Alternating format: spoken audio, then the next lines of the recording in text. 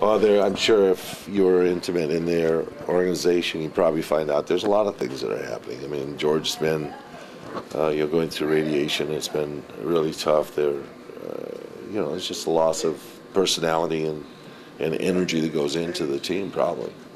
And the seasons are long, uh, as you guys know. They're they're long. They're wearing teams, and um, you know, we still expect a real tough game there. There's no no let up in Denver. I know you've known George for a long time. Have you uh, talked to him at all to, you know, trying to encourage him at this tough part of his life? Well, George isn't talking to anybody right now. His wife is, you know, posting some things on the Daily Post that keeps people informed as to how he's doing. Um, his last radiation treatment was last week. And hopefully, he's going to recover here. Uh, there's a possibility he may miss the first round, is what they said. How difficult is what Dantley's going through, trying to like kind of fill in the? Well, that's an opportunity.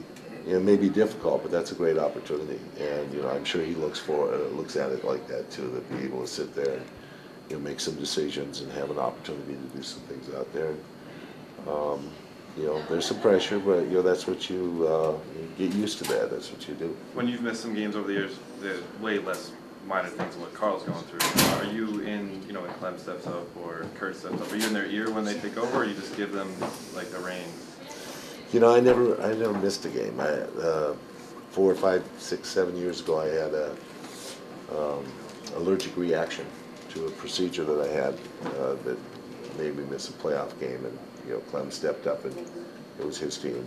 And then last year, I uh, sat out a Portland trip because of uh, some swelling that I, I had going on in my leg. So those are the only two games I missed in those 1,000, 12, 1,300 games. So, you know,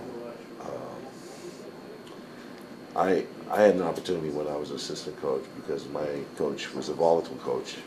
Kevin Loughery got thrown out 14 times in the course of the year. So you, know, you get a game, three quarters, a half, a quarter, five minutes left in the game, 25 seconds left in the game, whatever.